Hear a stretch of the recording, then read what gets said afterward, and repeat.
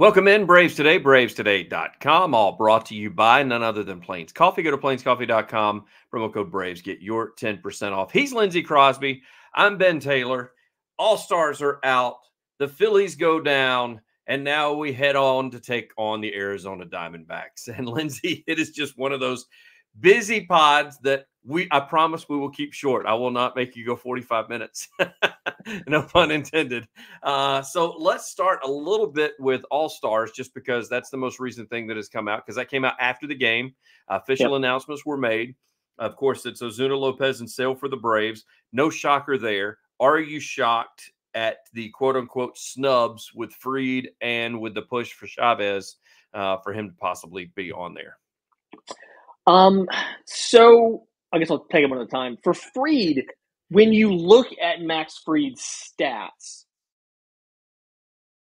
like we always do that thing where we take out those first two starts because of how bad they were. Yep. His overall record is three eighteen. Uh, sorry, his ERA is three eighteen, mm mm-hmm. and I believe most of the guys announced for the game have records better than that. Yeah, ERA is better than that. Now obviously we're looking at the whole it's like yeah after those two disastrous starts he has a 241 era and the you know he's seven and four but it feel like i under i don't like it but i understand yeah. why they left him out. What was the first impression of max fried a lot of people got this year? Getting knocked out in the first inning against philly and then turning right around and giving up seven runs and four and a third against arizona. Yep it's really hard to overcome that. And I actually wrote the piece a couple weeks ago about like Max Fried can still win the Cy Young, and he absolutely can still win the yeah. Cy Young. But I understand why he wasn't picked for the All Star game because of the rough start that he had, how it's really a popularity contest, and um, how he hasn't gone he hasn't gotten the ERA down enough to make up for that rough start to be selected for an award like that. Yeah, and we also when we look at it we look at it as braves fans of the people that yeah. are complaining about the snub and yes we understand that he's one of the most dominant pitchers on the staff we understand in our opinion he's probably one of the most dominant pitchers in the national league mm-hmm. however mm-hmm. when it comes to all-star selections it's the old walmart test you go ask the person the first 100 people walking through the door at walmart in indiana about Max Fried, they may or may not know who we're talking about. So it's a popularity contest. It is. I mean, that's the only reason Kyle Schwarber made the second spot for DH over Marcell Ozuna is yeah. the fact it's a popularity contest. If you go by the stats, Marcell Ozuna absolutely should have been one of the two DHs picked up front mm-hmm. along with Shohei Ohtani, but it's a popularity contest. I yeah. mean, it it is what it is. Um, for Chavez, still a chance he gets in, right? Yeah. They do a lot like relievers. It is very, very tough for a non closer reliever to make the All Star game yep. outside of the injury or unavailable replacement thing or the manager selections, simply because yep. you don't like, we are. We're Braves fans. We're campaigning for Jesse Chavez. We've seen the shirts everybody had.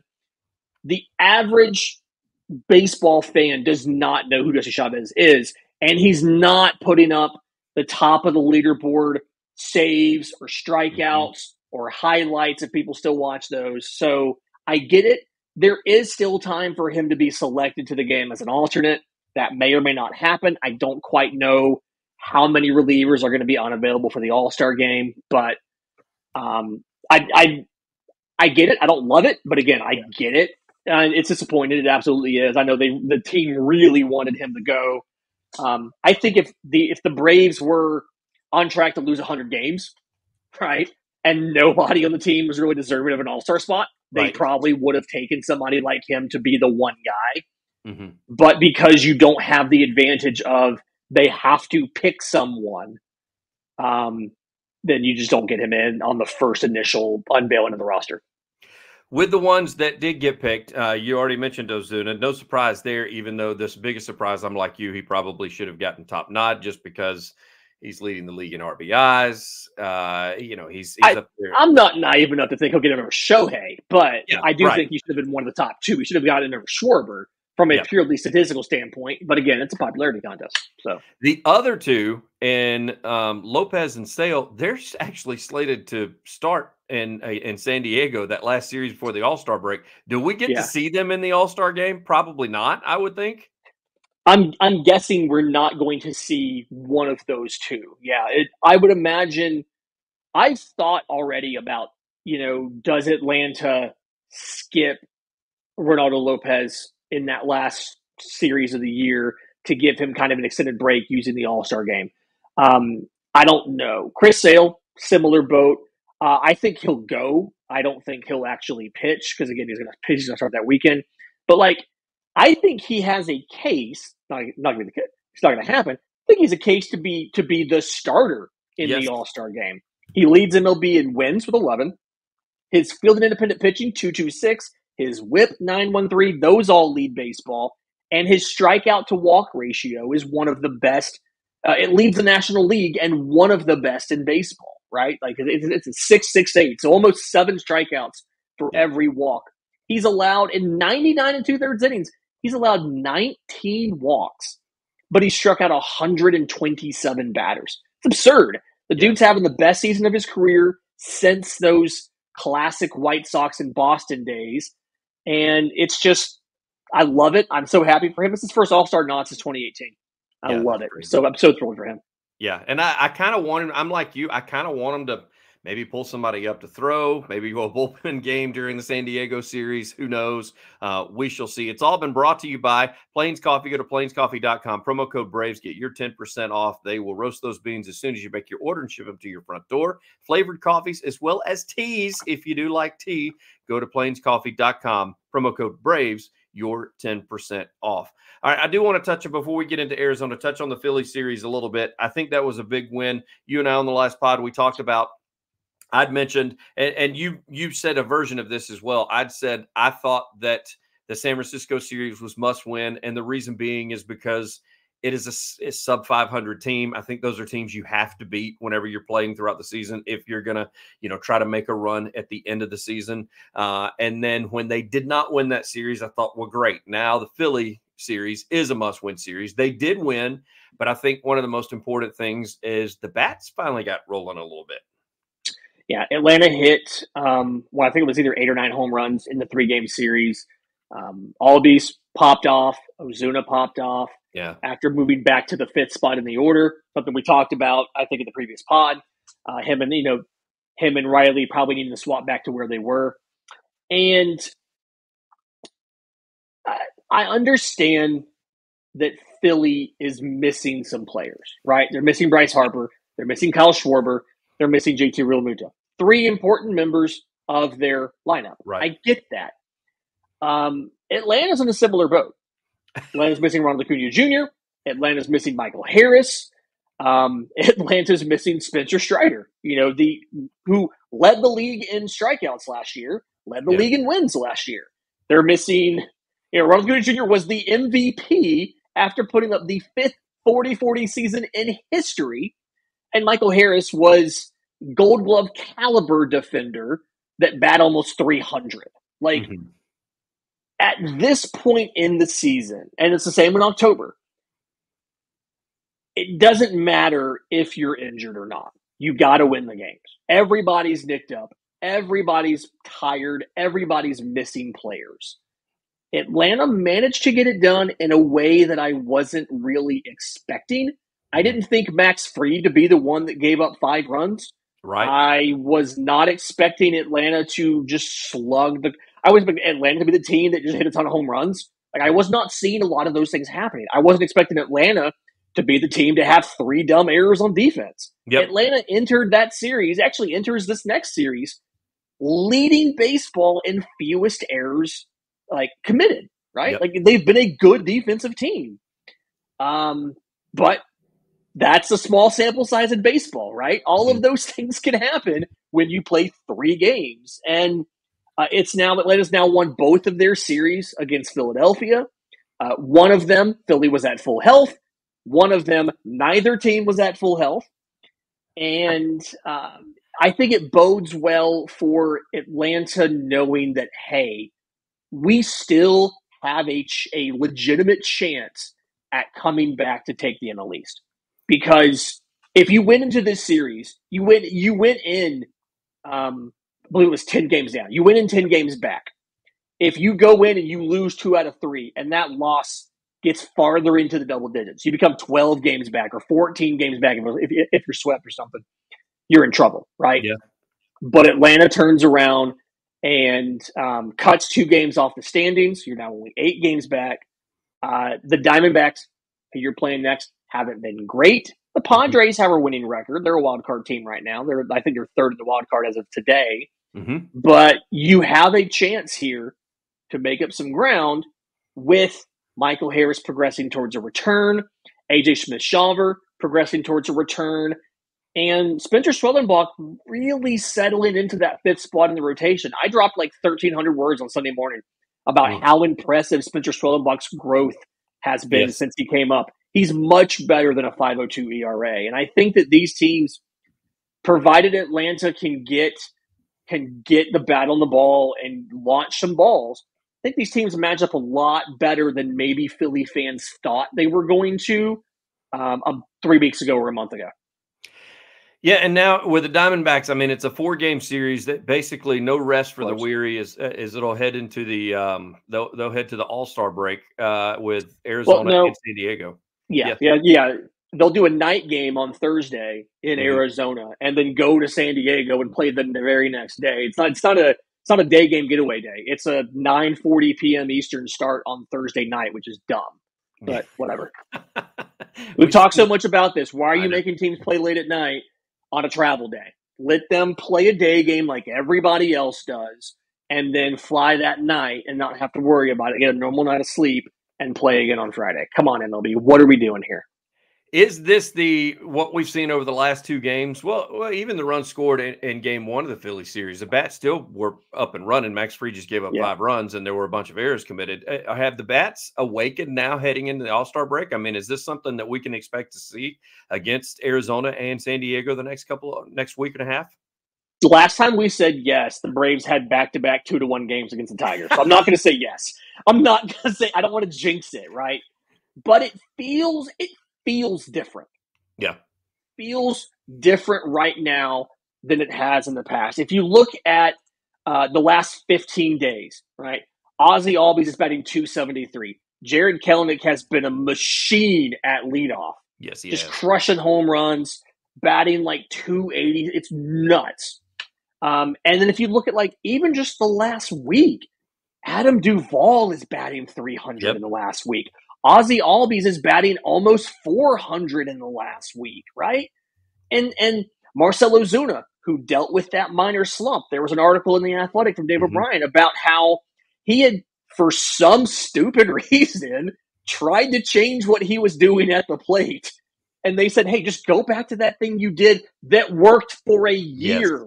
And so we went back to it. And what did he do? He hits two home runs this series against Philly. So it this feels different from Mhm. some of the other rallies because we're seeing production again deep in the lineup, right?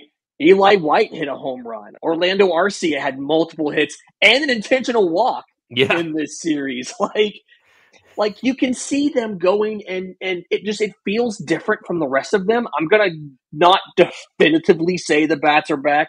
I don't want to jinx it, Right. but I'll just say it feels different than the last time the offense got on a here. And, And- they did really well in Arizona last time they went, although a lot of that was Eddie Rosario. Well, and who knows? We may see him called up. I'm not real sure. Eli White might get left in Atlanta and Eddie Rosario might come up for the series. They're like, listen, I know you just got here, but we know you hate the NL West. Okay. Yeah. So we need you to come repeat last season's performance against the Diamondbacks. No doubt. And I will and and give credit where credit is due. There are a lot of people that have chirped about the pitching. After the last game of the series against the Phillies, the Braves still continue to be the Major League Baseball leader, leader in shutouts. And I Mhm. think that that's that's impressive uh, because you and I have talked about that before. There there are a couple of things that are really hard to do at the major league level. And number one, that is shutout teams, and number two, that is sweep teams. And the Braves have done both this season very well against various teams, regardless of how bad somebody may say a team is or who may be missing on the team tired of hearing that just because the Braves the last few years we dealt with Ronald being out during the World Series year. We dealt with Ronald being out this year. Got Fried with blisters, and now we've got and a forearm Tommy John. Yeah, yeah, exactly. So it's one of those deals where when the people get to complaining, it's like, okay, well, cry me a river. This is what we've dealt with the last, let's just say, In, five years that the Braves have, have been making these runs. There is not a single baseball team out there that does not have a player on the IL. Everybody right. is hurt. And what matters is how good is your depth that steps up to replace them? How resourceful is your GM when you have to make a trade? And uh, what other options do you have? How do you handle those guys being out? Like, that's all there is to it, right? Um, imagine what this season would look like without Strider, without Harris, without Acuna. Had Atlanta not gone out and got Reynaldo Lopez oh. and Chris Sale and Jarred Kelenic. Imagine what this what would your outfield defense look like if you didn't have Jarred Kelenic? You're playing Forrest Wall in center field every day. Yeah. Right? Uh, your pitching staff. You've got Dylan Dodd and Bryce Elder up starting two of every five games because you don't have any other options. Like it's all it, everybody in Major League Baseball is not feeling great right now, and every team is dealing with injuries. And all that matters is how well you perform despite those injuries and how well your general manager and your front office constructed a roster to still play despite those injuries. That's all that matters. I'm this coming week. So uh, it's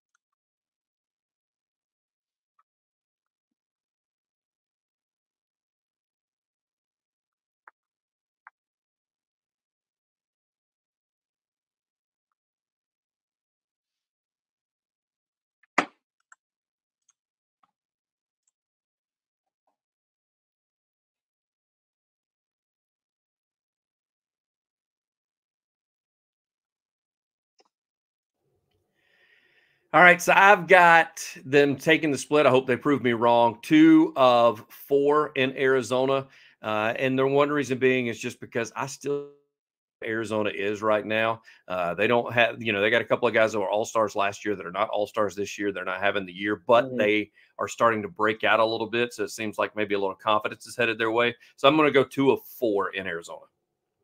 I'm going to say three and one. I just spent 45 minutes talking to one of their beat writers for a preview podcast on his side, not on ours.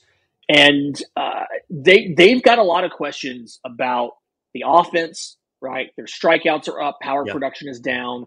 Um, the running game, a lot of their their uh, stolen bases are gone from this year. They've been had some guys nicked up, um, but then also the, the the pitching's a question. They have officially announced two of the four starters. You've got Chris Sale versus prospect Yilber Diaz making his debut in game one, and Charlie Morton versus Zach Gallen in game two. Uh, they're holding a TBD on game three versus Max Fried.